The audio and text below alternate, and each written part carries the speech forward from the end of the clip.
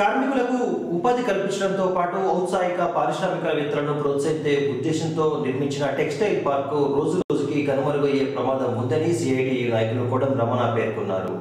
ఎంతో ఆర్భాటంగా ప్రారంభించిన టెక్స్టైల్ పార్కులో ప్రతిరోజు రోజుకో పరిశ్రమ మూతపడుతుందని దీంతో కార్మికులు రోడ్డున పడుతున్నారని దీనిపై మంత్రి కేటీఆర్ దృష్టి సారించి సరైన విధంగా టెక్స్టైల్ పార్కు నడిచేలా చర్యలు తీసుకోవాలని ఆయన సందర్భంగా డిమాండ్ చేశారు.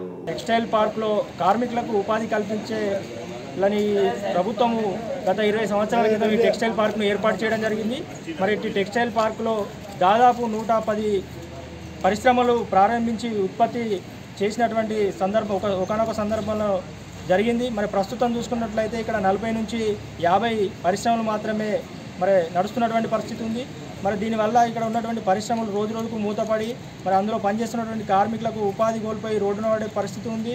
కాబట్టి ప్రభుత్వం మరి స్థానిక నియోజకవర్గ ఎమ్మెల్యే అందులో పరిశ్రమల శాఖ మంత్రిగా ఉన్నటువంటి కేటీఆర్ గారు మరి టెక్స్టైల్ పార్క్పై మరి ప్రత్యేకమైనటువంటి శ్రద్ధ వహించి ఇక్కడ మూతపడుతున్నటువంటి పరిశ్రమలను తెరిపించి మరి ఇంకా ప్రారంభించినటువంటి పరిశ్రమలు కూడా వెంటనే ప్రారంభించే విధంగా చర్యలు తీసుకొని ఇక్కడ కార్మికులకు ఉపాధి కల్పించే విధంగా చర్యలు తీసుకోవాలని చెప్పి మేము కార్మికులందరి పక్షాన డిమాండ్ చేస్తూ ఉన్నాము. అదేవిధంగా ఇక్కడ కార్మికులకు మౌలిక సదుపాయాలు కల్పించడంలో భాగంగా గత రెండు సంవత్సరాల క్రితమే స్వయంగా మంత్రి కేటీఆర్ గారి చేతుల మీదుగా ప్రారంభించినటువంటి క్యాంటీన్ను ఇప్పటి వరకు కూడా కార్మికులకు అందుబాటులోకి తీసుకురానటువంటి పరిస్థితి ఉంది.